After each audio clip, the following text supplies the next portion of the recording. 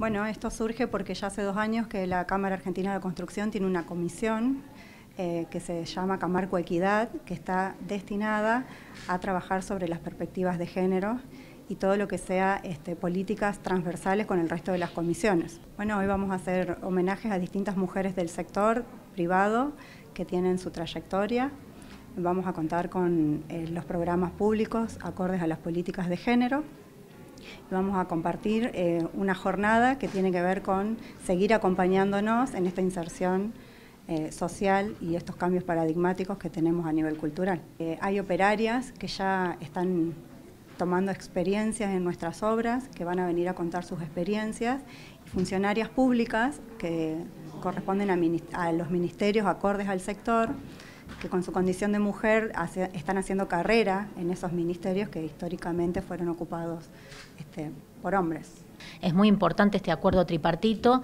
Eh, nosotros trabajamos muy bien durante la pandemia para que la actividad siguiera adelante, no se frenara en ningún momento y esa buena dinámica que se encontró entre las tres instituciones, el Ministerio de Obras Públicas de la Nación, Camarco y UOCRA, siguiera adelante en otros temas que son muy urgentes e importantes como es la perspectiva de género. Santa Fe está a la vanguardia porque viene trabajando, instaurando esta temática en el sector. Como sabemos, las mujeres representan el 5% en la construcción, así que queda mucho por recorrer, pero hay excelentes señales para seguir